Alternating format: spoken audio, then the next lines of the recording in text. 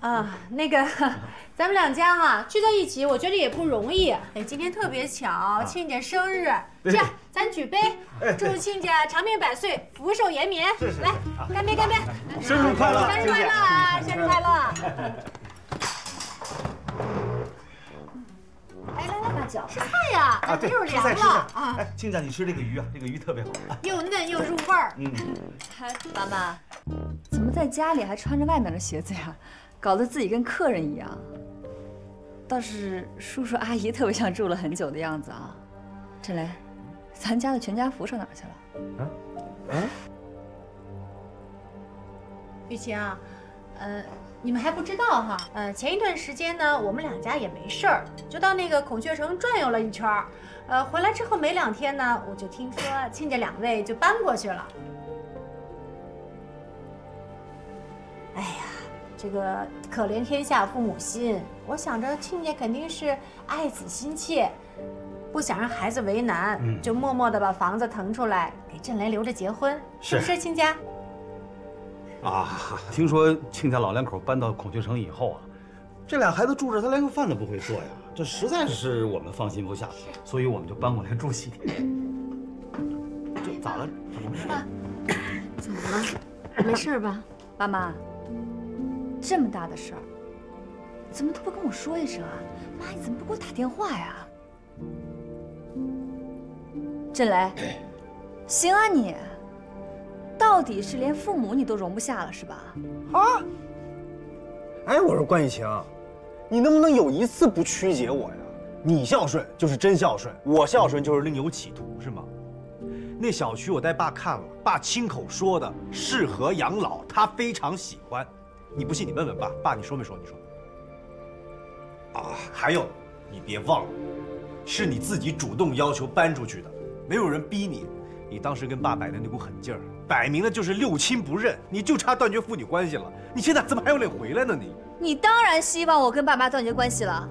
是啊，我回来你就没有办法霸占房子了，是不是？我告诉你啊，你想孝敬你的岳父岳母没关系。但你不能把爸妈赶出去吧？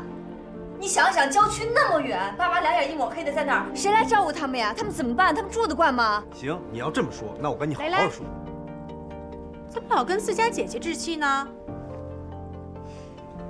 都说养女儿好啊，就像贴心的小棉袄一样。你看看，想的细心又周到。雨晴啊，我知道啊，在官家你的能力最大，本事最大。要是你实在不放心的话，其实我倒是有个主意。那不如把你父母接过去跟你一起住。哎呀，你看亲家们老跟儿子住在一起，也是会想女儿的呀。阿姨，我爸妈当然可以搬过去跟我住，但我不想他们不明不白的就丢了房子。爸妈，你们到底想住哪儿？跟我说一声，没有人能挡着你们搬回来。谁谁丢房子了啊？孔雀城我们住的挺好的，呃，没人逼我们搬出来。爸，你你想清楚再说行不行啊？能不能说句实话呀？只要你不是心甘情愿搬走的，那你明天就给我搬回来。你别插嘴，家里的事儿不用你管。真的不用我管是吗？老关，这说的是气话啊！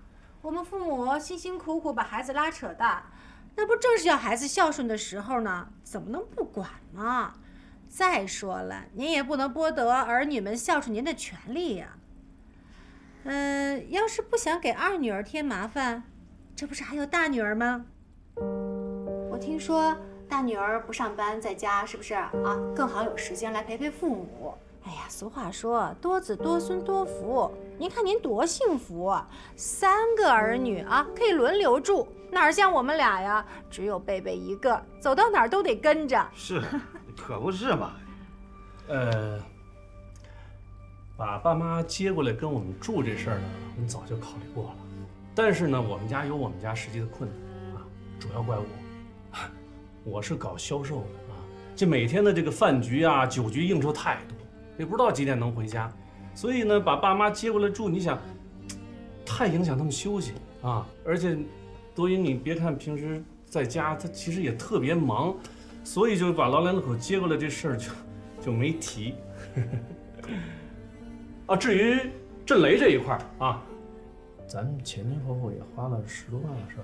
哦，啊，啊，没关系，既然你马上要结婚了，这钱就不用还了，就算姐姐姐夫随份子了。哎呦，大气。行了，今儿这顿饭就吃到这儿吧。哎，这还没动筷子呢。这么多人给我祝寿，我心满意足了。刘二姐，把家里边剩的东西都拿走，咱们准备回孔雀城吧。爸，你坐下，听我说完。爸，你能不能有句实话呀？宠儿子不是这么宠的，你的房子都被别人占了，你现在还……我再说一遍，没有人逼我们走，也没有人要占我们的房子，那是我儿子宝的一片孝心，我们现在享受着呢。孔雀城我们住的特舒心，不用您操心了，姑奶奶。